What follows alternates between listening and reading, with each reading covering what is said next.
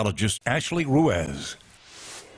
Check out how beautiful this sunset is this evening. Just beautiful, stunning. We have high clouds in the sky, very comfortable out there after a gorgeous day. 69 degrees right now, feels like 68. We have a nice, comfy breeze, so it's going to be pretty good weather to sit out on the porch, bring the dog out for a walk, or, or just eat dinner outside. Temperatures are in the 60s and 70s, but we will fall into the 50s for most areas. We'll have a couple of 40s out there tomorrow morning as well, but clouds are going to quickly return to the area all out ahead of our next cold front, which will move in tomorrow evening, but we'll still be able to warm up into the 70s under partly to mostly cloudy skies and Again, we'll have scattered to numerous showers and thunderstorms out there. Yes, we'll have rain chances in the forecast, but not enough to help alleviate our drought situation. So the latest from uh, or on the drought monitor as of this morning, a good portion of our area, including Point Pointe Parish, West uh, Feliciana, portions of Iberville, West Baton Rouge, EBR Parish, under a severe drought now.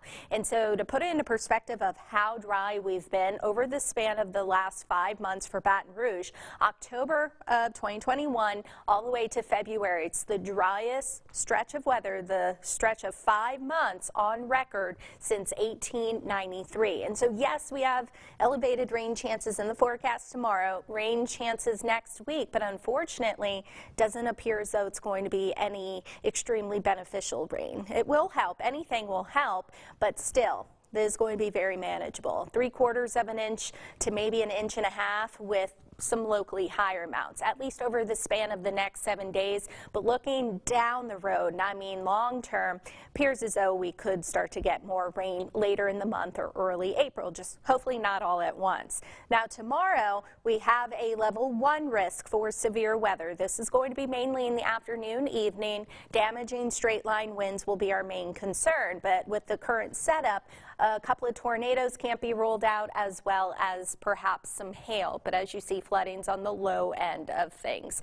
As for the timing, so tomorrow morning we'll have clouds quickly return to the area and a couple of coastal showers. This is around 5 o'clock in the morning and you can see some spotty showers, some thunderstorms moving in mid-morning, maybe late morning. But as the day goes on, we, we start to go into the afternoon hours. We'll have all that daytime heating, the heat, the moisture in place to help showers and thunderstorms to break out over the area. This is around 3 to 4 o'clock o'clock, and you see scattered to numerous showers and thunderstorms. These storms will be the ones that we have to watch for any severe activity. Here's 6 o'clock. We have clusters of storms, and now they're moving into Mississippi and into Alabama. And then once the cold front passes, this is around 9 o'clock, our severe weather threat will come to an end, but we won't be totally done with the rain at least until about midnight or so.